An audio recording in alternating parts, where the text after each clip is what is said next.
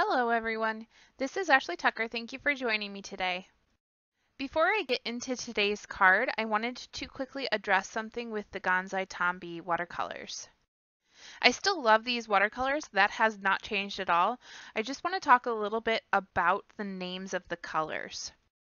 When I first got this watercolor set, I made this little swatch chart and I have the names on it and I took those names directly from this little chart that's on the inside of the watercolor set. But something that I've noticed recently is that these Gansai Tambi watercolors have two different names floating out there. So some people have sets with one set of names and some people have sets with a whole different other set of names, even though they're all the same colors. So I did a little research online and I found all of the alternate names for the colors that I have and I made a new chart with both of the colors on it so that I can give more accurate uh, colors to you guys when I'm using these and then you can follow along with my coloring if you want to. I'm also going to make this chart available on my blog in case you want to reference it for any reason. So if you want to see that, there's going to be a link down in the description of this video to that blog post. Okay, so now let's get into today's card. So to start out, I have a piece of Canson watercolor paper taped to my board, and I'm going to be using the Gansai Tambi watercolors and just doing some very relaxing watercoloring. I didn't want to do anything too complicated. I had kind of a rough weekend.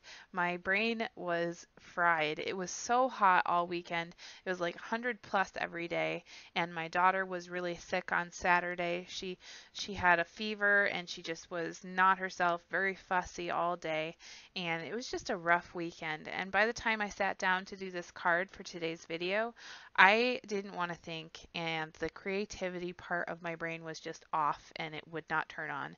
So I was like, I'm just going to paint for fun and to relax. So I sat down and I just chose some colors just because I liked them and that I was drawn to them. And so I just laid them down on the paper however I wanted, just just relaxing. So yeah, my daughter was sick on Saturday. She woke up and we could tell immediately that something was up because she didn't wake up until 10:30, which is crazy for her. I mean, she's a toddler and toddlers like to wake up at the buck crack of dawn. so, it was a little weird when she didn't get up until 10:30 and I got a lot of sleep, which was great for me, but not so great for her because she just wasn't feeling well. And we could tell that she wasn't feeling well because she was sitting on the couch, she wasn't really active, and then the biggest concern was is she refused to drink anything all day and I was freaking out.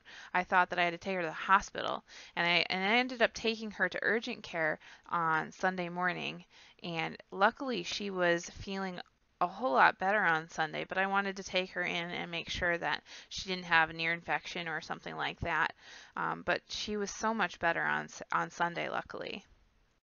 So Sunday was actually a much better day overall in that respect. The, the only thing about Sunday was it was still extremely hot. And you know, when it's like really hot outside, like 100 plus, it just takes everything out of you. Anyways, back to the card. I pulled out the stamp set that comes in July's Simon Says stamp kit, and I'm going to be using that for this card. And the first thing that I'm going to stamp is this little flamingo. I stamped that using my Simon Says stamp Intense Black ink, and I'm going to be coloring these with my Arteza markers. And I have this one color called Flamingo Pink, and I thought that that would be a perfect place to start. By the way, this is Bristol smooth paper that I stamped this on.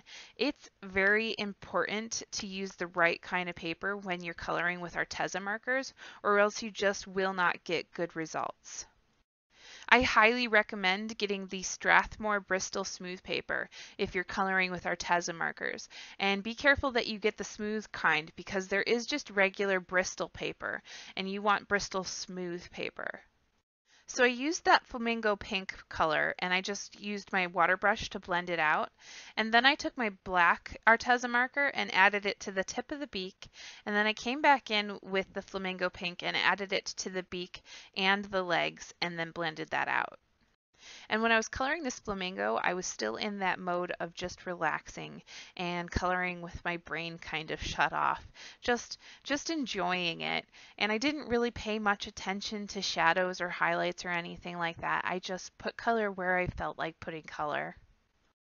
And I did bring in one other pink color. I used the fuchsia color, um, but for the most part, I just used that flamingo pink color and that's it.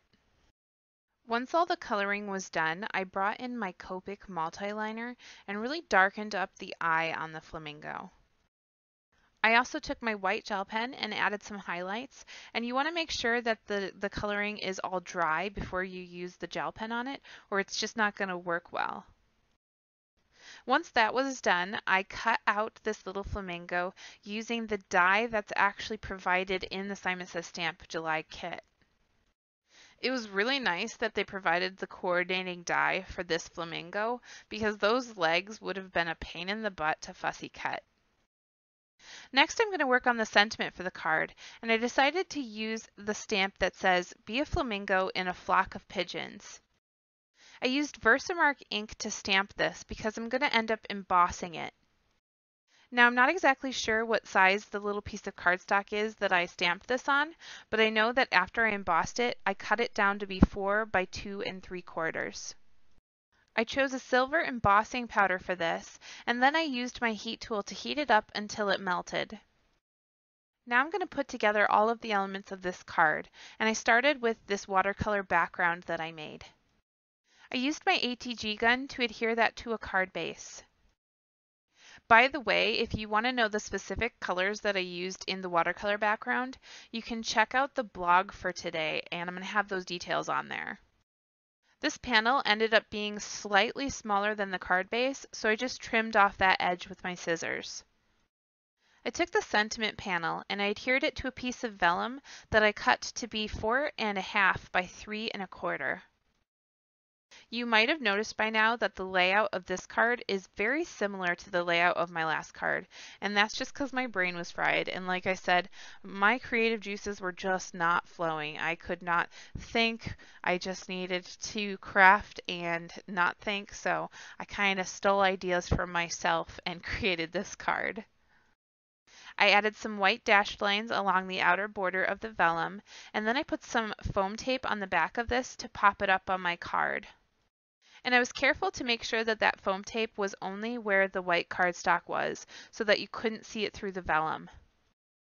Next I used my Tombow glue to adhere the flamingo, and when I put the Tombow glue on there, I was sure to not have lots of really big blobs that would kind of ooze out the sides when, when I put the flamingo on the card.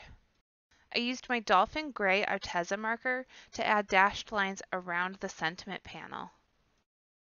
And my head does make a lot of appearances during this portion of the video. I'm really sorry about that. You guys get to see my really messy hair. The, the heat does ridiculous things to my hair. I added just a few silver sequins to this card, and I just used my Tombow glue and my tweezers to add those.